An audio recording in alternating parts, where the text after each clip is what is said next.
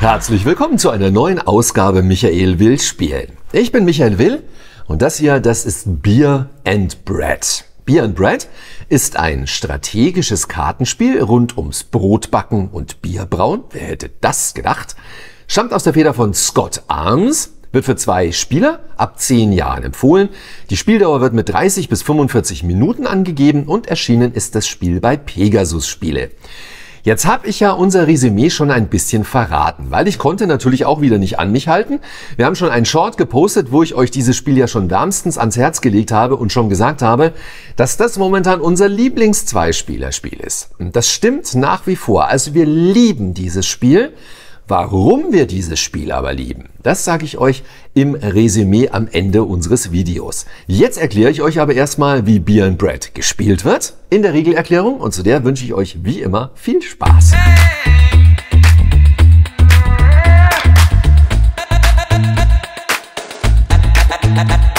Unsere Regelerklärung von Beer and Bread beginnt natürlich wie immer mit dem Aufbau des Spiels. Es ist ein reines Zweispielerspiel, das heißt, mein Gegenspieler sitzt mir gegenüber, ich sitze hier und was ich euch hier aufgebaut habe, ist schon fast das vollständige Spiel. Ich sag's euch gleich mal vorweg, ihr müsst natürlich die einzelnen Ressourcen hier nicht so akribisch aufbauen, wie ich das immer mache, ja, aber da bin ich halt ein bisschen anders, ja. Also bei mir muss das alles immer schön liegen. Insofern wundert euch nicht, dass hier alles so in Reih und Glied ähm, liegt.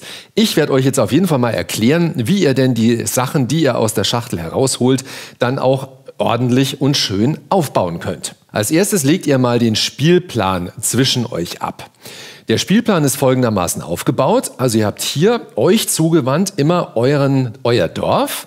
Dieses Dorf besteht aus drei wichtigen Komponenten, nämlich zum einen habt ihr hier ein Lager. Jedes einzelne, jede einzelne dieser Flächen hier oben auf dem Dach dieses Lagerhauses sind dann später eine Lagerfläche. Dann habt ihr natürlich eine Brauerei und ihr habt eine Bäckerei. Das gleiche hat der Mitspieler auf der anderen Seite auch, getrennt eben durch diesen Flusslauf. Was haben wir noch auf dem Spielplan? Wir haben hier unten sogenannte Ausbauslots. Das heißt, hier unten werden dann später bestimmte Karten runtergesteckt, die eben dazu dienen, unser Dorf eben noch schöner und noch größer und noch effektiver zu machen. Dann gibt es hier eben noch eine Leiste für die verschiedenen Jahre. Hier gibt es die Felder mit den Zutaten, wo wir dann später die Zutaten für unser Bier und unser Brot ernten können. Hier gibt es natürlich auch noch Wasser, also der Fluss führt natürlich immer Wasser. Dann gibt es hier noch Slots für Tauschkarten, die müsst ihr frei halten, denn hier werden später noch Karten angelegt. Und es gibt natürlich einen Nachziehstapel. Das sind die 60 Karten, die ihr im Spiel habt. Die Karten für diesen Nachziehstapel, die mischt ihr einfach am Anfang des Spiels mal ordentlich durch und bildet eben einen Stapel und legt den eben hier neben den Badesee. Da ist auch ein ganz besonderer Platz für den Nachziehstapel vorgesehen. Dann gibt es natürlich noch Zutaten. Wir haben ja auch einen Zutatenvorrat für euch schon vorbereitet. Hier im ersten Fach liegt normalerweise Wasser, aber Wasser liegt immer vollständig aus, ist ja klar. Also der Fluss, der läuft ja nie leer, also Wasser gibt es als Ressource quasi immer. Die gelben ähm, die gelbe Ressource, das ist Weizen. Die braune Ressource ist Gerste. Die orangefarbige Ressource ist Roggen. Und die grüne Ressource hier drüben, es geht ums Bierbrauen natürlich auch. Das ist natürlich dementsprechend der Hopfen. Diesen Vorrat, den legt ihr natürlich am Rande des Spielplans irgendwo bereit. Und zwar idealerweise natürlich so, dass ihr beide, beide Spieler den eben auch gut erreichen können. Dann habe ich euch auch schon erzählt, es gibt hier eben eine Leiste, wo man die einzelnen Jahre mitzählt. Dafür gibt es auch so einen Marker, das ist der sogenannte Jahresmarker, das ist einfach nur so ein weißer Zylinder.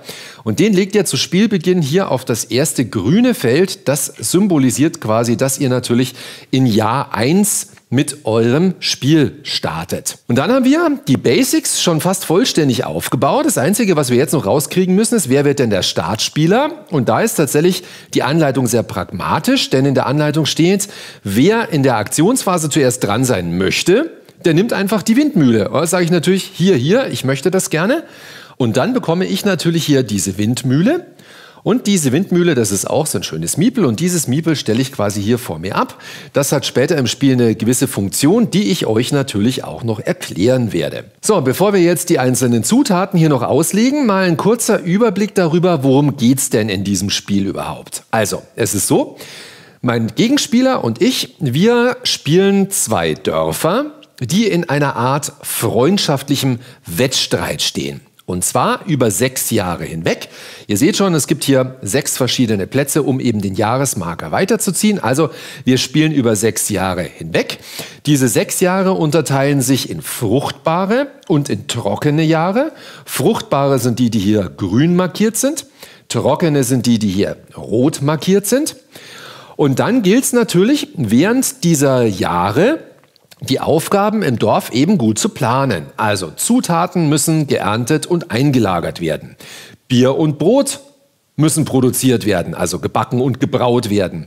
Und dann verkauft werden natürlich, weil letztendlich wollen wir ja ein bisschen Umsatz machen. Und die Kapazitäten, die ich im Dorf habe, können ausgebaut werden. Das sind dann genau diese Erweiterungsslots, von denen ich euch am Anfang schon erzählt habe. Und am Ende zählt aber tatsächlich in der Endwertung für jedes Dorf nur die Warenart, die weniger Münzen eingebracht hat. Also das ist tatsächlich ein bisschen knifflig, denn wenn es einfach nur darum ginge, wer mehr hat, könnte ja einer sagen, ey, ich braue nur Bier oder ich back nur Brot, aber tatsächlich ist es so, er macht am Ende eine Auswertung das, was ihr am meisten verkauft habt oder mit dem ihr am meisten verdient habt, das interessiert quasi nicht, sondern ihr vergleicht quasi euren Platz 2.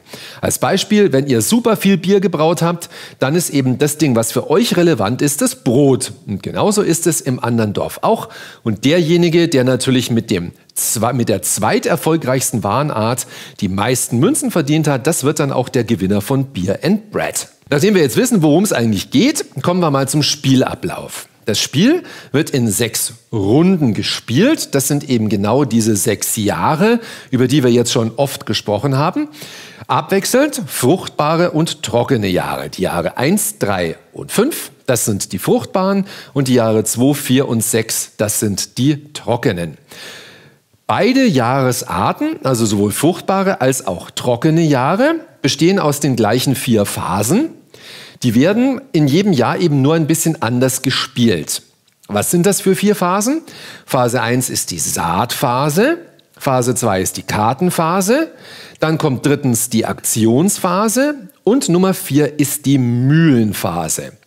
Und diese vier Phasen erkläre ich euch jetzt im fruchtbaren Jahr und im trockenen Jahr. Fangen wir an mit dem fruchtbaren Jahr. Wir fangen ja jetzt in Runde 1 an und ihr seht ja schon, das Jahr Nummer 1 ist natürlich ein fruchtbares Jahr und in den fruchtbaren Jahren ist es so, dass ihr als allererstes die Saatphase durchführt und die Saatphase bedeutet, dass ihr als erstes Mal so viele Zutaten bzw. Ressourcen auf eure Felder auslegt, wie hier auf der linken Seite dieses Schildes im grünen Bereich steht.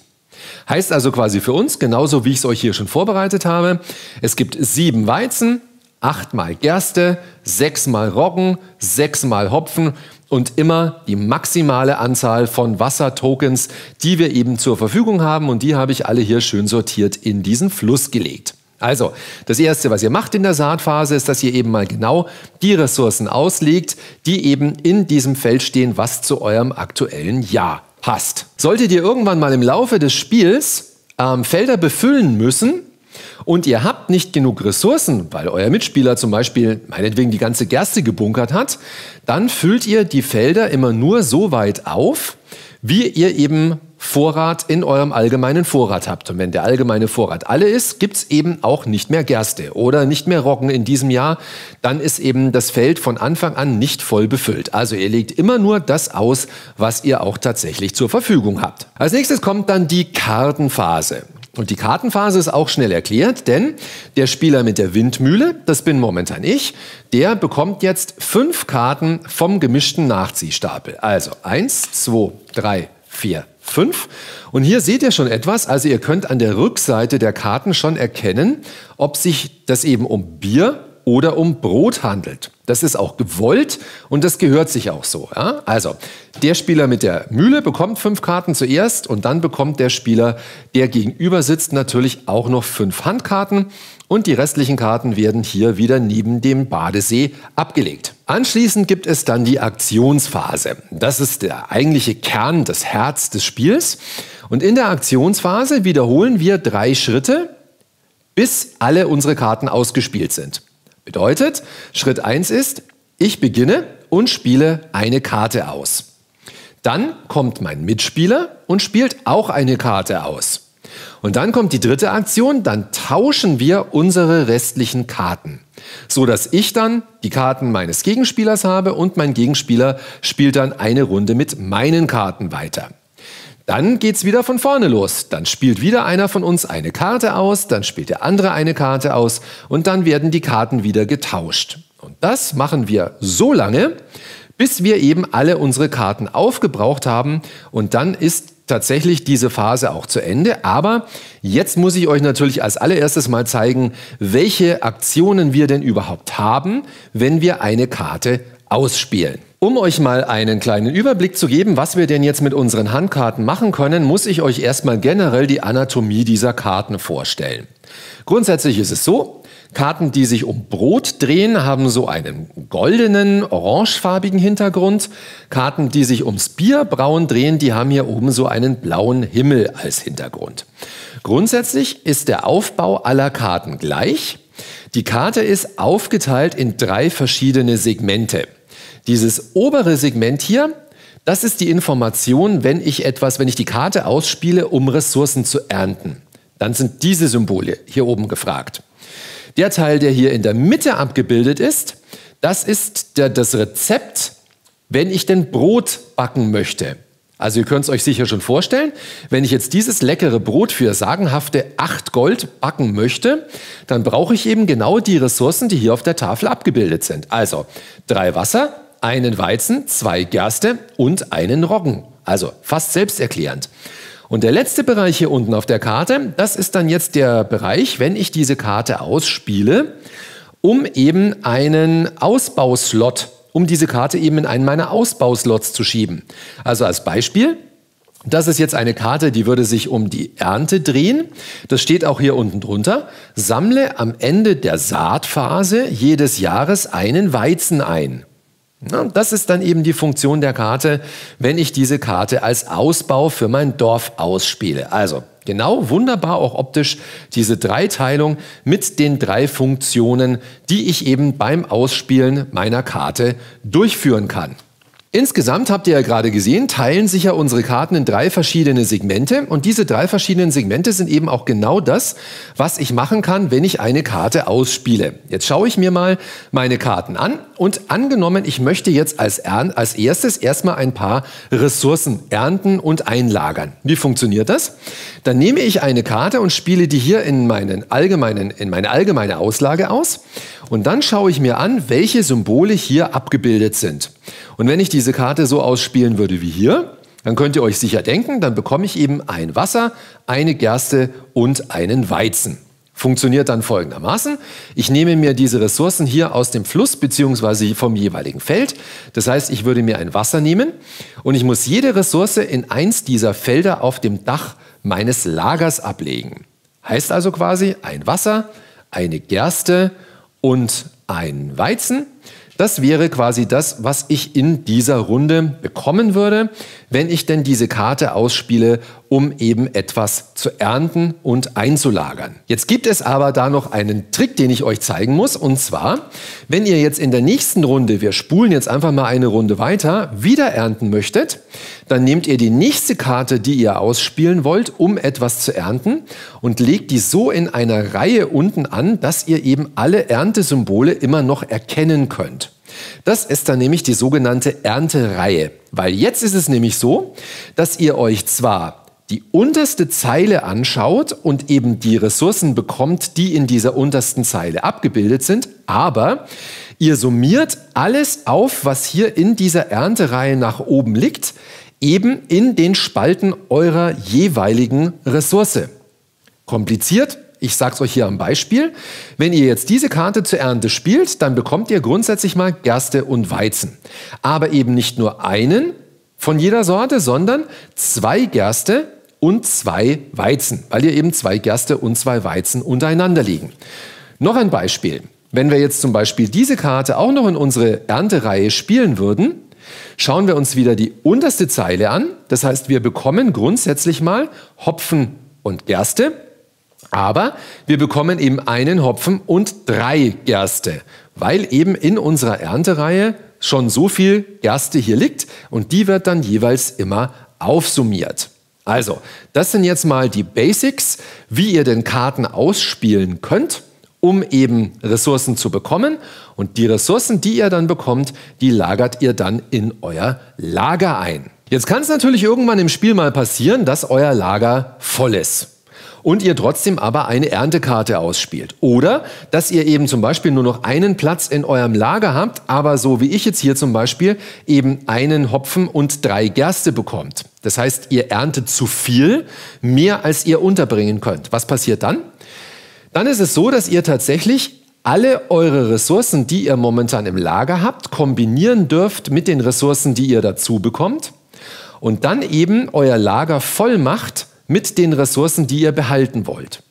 Die Ressourcen, die ihr nicht behalten könnt, weil euch eben der Lagerplatz fehlt, die bietet ihr dann eure Mitspieler an. Und euer Mitspieler darf sich dann tatsächlich an euren Ressourcen bedienen, Achtung, solange der Mitspieler noch freie Plätze in seinem Lager hat. Der Mitspieler, wenn er von euch diese Ressourcen bekommt, darf nicht tauschen, sondern er darf wirklich nur potenzielle freie Plätze noch belegen und was auch der Mitspieler nicht verbrauchen kann, das geht dann zurück in den allgemeinen Vorrat.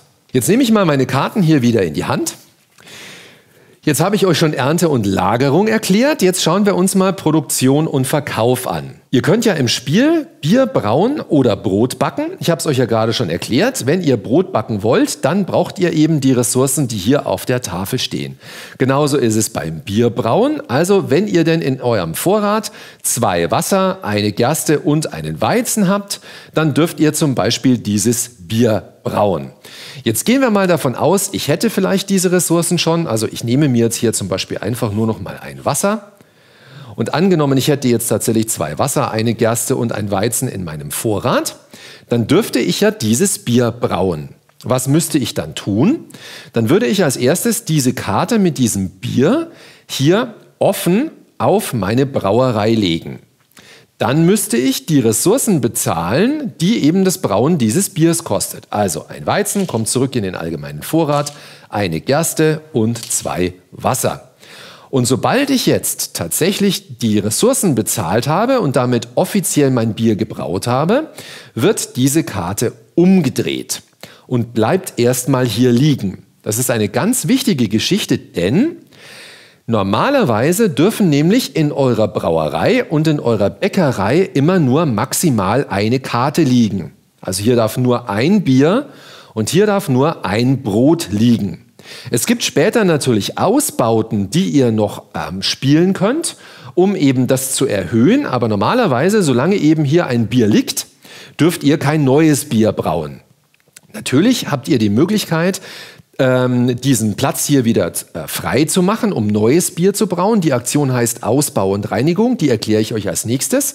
Aber grundsätzlich müsst ihr erstmal wissen, dass hier, wenn ihr denn keinen Ausbau habt, nur ein Bier und ein Brot liegen darf. Damit haben wir auch schon die Aktion Produktion und Verkauf komplett durchgesprochen. So, und jetzt gibt es die letzte Aktion und die Aktion heißt Ausbau und Reinigung. Also, ich kann euch ja jetzt mal, gucken wir mal, was wir so haben. Ich zeige euch mal eine Karte, die ich auf der Hand habe. Das ist wieder so ein extrem teures Brot. Und wenn wir uns jetzt mal hier unten diesen Ausbaubereich anschauen, dann heißt der Ausbau, auf deiner Brauerei darf eine weitere Bierkarte liegen. So, wenn ich jetzt diese Karte ausspielen möchte, wie mache ich das?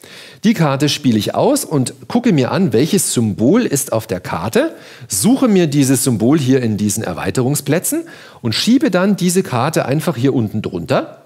Und zwar so, dass ich eben genau diese Funktion des Ausbaus noch sehen kann. Und jetzt seht ihr auch genau, was ich vorhin gemeint habe. Also wenn ich diesen Ausbau gespielt habe, dann darf ich zwei Biere gleichzeitig oder zwei gebraute Biere gleichzeitig in meiner Brauerei liegen haben. Also diese Ausbauten sorgen quasi dafür, dass ich zum Beispiel mehr Karten ausspielen darf. Grundsätzlich ist es so, dass ich so viele Ausbauten hier unten dran legen kann, wie ich denn möchte. Das heißt, wenn ich jetzt noch so einen, so einen Ausbau für meine Bäckerei oder für meine Brauerei mache, schiebe ich die einfach hier unten drunter, sodass hier eine richtig lange Reihe entstehen kann, wenn ich das denn möchte. Das ist aber nur nicht das Letzte. Die Aktion heißt ja Ausbau und Reinigung. Was bedeutet jetzt Reinigung? Reinigung heißt jetzt, dass ich meine gebrauten Biere und meine gebackenen Brote aus der Bäckerei und der Brauerei nehmen darf und einfach hier rechts an die Seite legen darf. Das ist dann letztendlich mein Wertungsstapel. Ich muss die nicht umdrehen. Das heißt, die Brote und die Biere, die hier liegen, die bleiben verdeckt liegen, damit der Gegenspieler eben, wenn er nicht aufgepasst hat, nicht weiß, wie viele Münzen das Bier und das Brot letztendlich wert ist. Aber ich muss sie aufgefächert liegen lassen, sodass mein Gegenspieler zumindest sieht, wie viele Brote und wie viele Biere ich denn schon produziert habe in unserem aktuellen Spiel. Und damit habe ich euch die Aktionen tatsächlich schon erklärt. Also wir fassen nochmal zusammen. Ihr habt die Möglichkeit, zu ernten und zu lagern. Ihr habt die Möglichkeit zu produzieren und zu verkaufen. Und ihr habt die Möglichkeit auszubauen und eine Reinigung durchzuführen. Und für eine dieser Aktionen entscheidet ihr euch. Ihr müsst tatsächlich, wenn ihr dran seid, eine Karte spielen. Also ihr könnt nicht sagen, ihr überspringt diesen Schritt, sondern ihr müsst eine dieser drei Aktionen durchführen. Dann ist euer Gegenspieler dran und macht das Gleiche. Und während der fruchtbaren Jahre werden dann eben die Karten getauscht. Das heißt, ich hätte jetzt zum Beispiel mal hier eine Karte gespielt, dann wäre jetzt der Mitspieler auf der anderen Seite dran. Der hat zum Beispiel auch einen Ausbau für seine Brauerei. Ja, den schiebt er dann irgendwie hier unten drunter. Und dann ist er mit seinem Zug fertig, gibt mir seine Karten und ich gebe ihm meine Karten. Dann schaue ich mir seine Karten an, spiele eine Karte aus, er spielt eine Karte aus und so geht das dann immer hin und her, bis wir unsere fünf Karten komplett ausgespielt haben. Und dann am Ende dieser Phase, also quasi wenn wir unsere Karten alle los sind, dann gibt es eben noch eine vierte Phase. Und die vierte Phase, das ist die Mühlenphase. Was bedeutet Mühlenphase? Dann guckt man sich an, welcher Spieler hat weniger Zutatenmarker in seinen Lagerplätzen liegen. Denn der Spieler, der weniger Zutaten in seinem Lager hat, das ist dann nämlich der Spieler, der dann die Windmühle bekommt. Sollte es einen Gleichstand geben, also sollten wir beide gleich viele Zutaten in unseren Lagern liegen haben, dann bekommt derjenige die Mühle, der sie gerade nicht hatte. Also dann wechselt die Mühle quasi einfach ihre Seite. Und damit sind wir dann mit dem fruchtbaren Jahr auch fertig. Jetzt wechselt das Spiel in ein trockenes Jahr. Und das zeigt man eben dadurch an, dass man eben diesen Jahresmarker als erstes mal weiterschiebt. Und jetzt kommt der Clou. Jetzt muss man natürlich, wenn man wieder über die Ressourcen redet und die Ressourcen verteilt, muss man sich natürlich an der rechten Seite dieses Schildes orientieren. Das heißt, im trockenen Jahr gibt es eben nur fünf Weizen sollte da noch mehr liegen von der Runde vorher, wird es trotzdem abgeräumt. Es gibt auch nur vier Gerste. Also auch hier würden wir dann Gerste wieder zurück in den allgemeinen Vorrat legen und nur vier bleiben übrig. Das gleiche gilt auch für den Roggen. Auch da gibt es eben im trockenen Jahr nur vier. Und auch vom Hopfen gibt es im trockenen Jahr eben nur vier Elemente. Das Einzige, was es immer ausreichend gibt, ist Wasser. Das heißt, diese Wassermarker legen wir eben hier auch wieder hin. Und jetzt habe ich euch auch gezeigt, wie man eben die Ressourcen von einem trockenen Jahr ausbreitet oder auslegt. Und das ist eben die Phase 1, die Saatphase. Dann kommt die Kartenphase. Jetzt gehen wir mal davon aus, dass ich hier zum Beispiel mal ein paar Karten in meiner Erntereihe liegen hätte. Die restlichen Karten, die haben wir ja alle abgegeben, die gibt es ja nicht mehr, die haben wir ja schon ausgelegt oder ausgespielt. Und dann ist es nämlich tatsächlich so, dass ich jetzt mir nicht fünf neue Karten nehme, sondern wir nehmen uns beide als allererstes mal die Karten, die in unserer Erntereihe liegen, komplett auf die Hand. Mein Gegenspieler hätte zum Beispiel keine. Mein Gegenspieler hätte vielleicht auch die Mühle. Ich stelle sie ihm mal rüber. Und dann ist es so, der Spieler nimmt sich als erstes mal alle Karten, die potenziell in seinen, äh, als Erntekarten bei ihm noch ausliegen, nimmt er sich auf die Hand und dann zieht er vom Nachziehstapel auf fünf Karten auf. Also, mein Mitspieler da drüben hätte zum Beispiel keine Karten. Das heißt, er würde jetzt einfach fünf neue Karten bekommen. Ich habe drei Erntekarten ausgelegt gehabt. Das heißt, ich bekomme nur zwei. Aber dann werden tatsächlich hier auf diese Plätze, die wir ja noch nicht benutzt haben, drei Tauschkarten ausgelegt. Also hier kommt eine Karte hin, hier kommt eine Karte hin und hier kommt eine Karte hin. Die kommen direkt vom Nachziehstapel. Was sind das für Karten und was sollen die da? Wenn ihr euch mal hier diese Grafiken anschaut, dann seht ihr ja schon, im fruchtbaren Jahr tauschen beide Spieler die Karten. Im trockenen Jahr tauschen beide Spieler die Karten nicht. Damit es aber trotzdem nicht zu langweilig wird, gibt es eben hier am Rand diese Tauschkarten. Und das bedeutet, dass ich jederzeit während dieser Runde, wenn ich eine Karte ausspiele, tatsächlich auch diese Karte mit einer der drei Karten, die hier ausliegen, tauschen kann. Also sprich, ich nehme eine Karte aus meiner Hand, durch Zufall mal die, tausche die gegen diese Karte aus und die Karte, die ich jetzt aber eingetauscht habe, die muss ich dann wiederum spielen. Also wir tauschen die Karten nicht miteinander, sondern wir tauschen die Karten eben, wenn wir das wollen, mit den drei Austauschkarten oder genauer gesagt mit einer der drei Austauschkarten, die wir hier ausgelegt haben. Der grundsätzliche Spielablauf ist aber dann natürlich trotzdem immer der gleiche. Der Spieler, der die Mühle hat, spielt die erste Karte aus. Er kann eben Karten ausspielen oder eben eine Karte tauschen und die dann ausspielen. Dann bin ich wieder dran, dann spiele ich eine Karte aus oder tausche, dann ist der Gegenspieler wieder dran und so geht das eben auch wieder hin und her, bis wir auch in dieser Runde alle unsere Karten ausgespielt haben. Und dann endet die Aktionsphase und es gibt wieder eine Windmühlenphase. Wie sieht jetzt die Windmühlenphase im trockenen Jahr aus? Auch hier ist es so, dass man wieder schaut, welcher Spieler hat weniger Zutatenmarker. Der, der weniger Zutatenmarker hat, der bekommt die Windmühle. Bei einem Gleichstand wechselt die Windmühle wieder die Seiten. Als nächstes werden dann die Tauschkarten abgeworfen. Also die Tauschkarten hier kommen dann weg auf den Ablagestapel. Potenzielle Erntekarten, die ich irgendwie ausgespielt habe während meiner Runde, also zum Beispiel sowas, die werden eben auch wieder abgegeben. Also es wird quasi komplett ähm, ausgeräumt, komplett aufgeräumt. Und Spielkarten haben wir ja zu dem Zeitpunkt sowieso keine mehr in der Hand, weil die Spielkarten haben wir ja alle im Laufe unserer Runde ausgespielt. Naja, und dann sind wir quasi in der Schleife, dann beginnt quasi das nächste Jahr, das ist dann wieder ein fruchtbares Jahr. Und es beginnt dann natürlich wieder mit der Saatphase. Und dann werden eben wieder so viele Ressourcen ausgelegt, wie auf der grünen Seite des Schildes abgedruckt sind. Und damit habt ihr schon einen guten Überblick über das Spiel bekommen. Also jetzt wisst ihr, welche Aktionen ihr habt, jetzt wisst ihr, wie gespielt wird, jetzt kennt ihr den Unterschied zwischen fruchtbaren und trockenen Jahren. Und jetzt stellen sich natürlich am Ende der Regelerklärung immer die gleichen zwei Fragen. Wie lange wird das Spiel gespielt und wer gewinnt? Die einfachere Frage ist auf jeden Fall, wie lange wird das Spiel gespielt? Denn ihr wisst ja, wir spielen insgesamt sechs Jahre lang und sobald dieser Marker eben hier hinten auf dieses Münzsymbol geschoben wird, findet eben eine Schlusswertung statt. Und wie die Schlusswertung abläuft, das erkläre ich euch jetzt. Die Schlusswertung funktioniert folgendermaßen. Ihr habt ja am Ende des Spiels hier jede Menge Bier- und Brotkarten liegen. Wir schauen uns so eine Karte nochmal an. Das ist jetzt zum Beispiel eine Bierkarte. Und jede dieser Karten hat hier unterhalb von dieser Tafel einen Wert in Münzen. Und was ihr jetzt macht als ersten Schritt in der Schlusswertung ist, dass ihr mal separat eure Brotkarten aufsummiert, also die Münzen zusammenzählt und eure Bierkarten aufsummiert und da ebenfalls alle Münzen zusammenzählt. Netterweise gibt es ja im Spiel auch so einen schönen Wertungsblock. Das ist jetzt das Ergebnis, als ich das letzte Mal mit meiner Frau gespielt habe und an dem kann ich euch jetzt ganz gut zeigen, wie denn tatsächlich diese Wertung funktioniert. Also ihr seht hier, hier gibt es eine Spalte für Bier. Das ist genau das, was ich euch gesagt habe.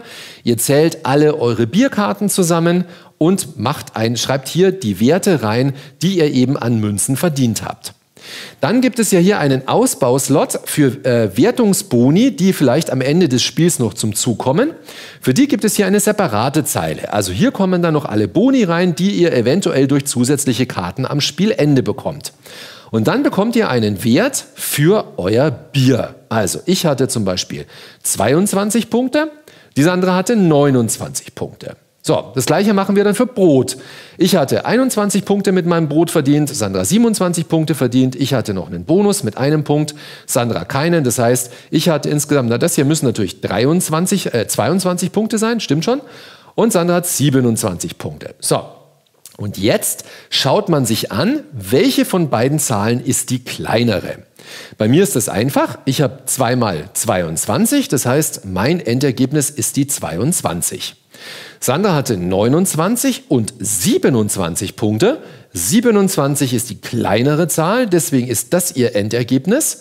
Heißt quasi, Sandra hat 27, ich habe 22 Punkte und damit ist Sandra natürlich die Gewinnerin. Also, ihr guckt immer, bei welcher eurer beiden äh, Produkte habt ihr weniger Gold verdient und diese beiden Werte vergleicht ihr und wer quasi mit dem zweitplatzierten Produkt mehr Geld verdient hat, das ist dann der Gewinner der aktuellen Partie Beer and Bread. Es ist ja schon seltsam. Wir bekommen in letzter Zeit ganz, ganz viele richtig geile Zwei-Spieler-Spiele auf den Tisch. Genauso geschehen bei Beer and Bread. Das hatte uns jemand von euch wieder empfohlen. Wir glauben inzwischen unbesehen jede Empfehlung, die von euch kommt, haben uns dieses Spiel geholt und mussten es natürlich gleich spielen. Und dieses Spiel macht wirklich alles richtig. Das fängt an mit der Ausstattung. Dieser doch etwas ungewöhnlich geformte Spielplan. Die einzelnen Tokens, die einzelnen Ressourcen sind alle richtig cool gemachte Tokens. Ob das der Hopfen ist oder der Roggen ist oder die Gerste ist, völlig egal. Alles super gemacht und leicht zu unterscheiden. Dann geht ja ein Bach zwischen unseren Dörfern durch, auf denen dann das Wasser gelegt wird. Lauter so kleine Details, die das Spiel einfach richtig geil machen. Die Karten sind schön gemacht. Also es ist wirklich ein, dafür, dass es ja wirklich keine große Schachtel ist, wirklich ein wunderschön ausgestattetes Spiel, was genau diese Thematik des Brotbackens und Bierbrauens wirklich cool aufgegriffen hat. Dann die Regeln. Wir spielen ein reines Zweispielerspiel gegeneinander. Diese Phasen mit den fetten Jahren und den schmalen Jahren, den Jahren, in denen nicht viel passiert, klasse gemacht. Also da gibt's Jahre, da habt ihr ganz, ganz viele Ressourcen und das nächste Jahr ist halt ein Jahr, da habt ihr kaum Ressourcen und müsst trotzdem klarkommen damit.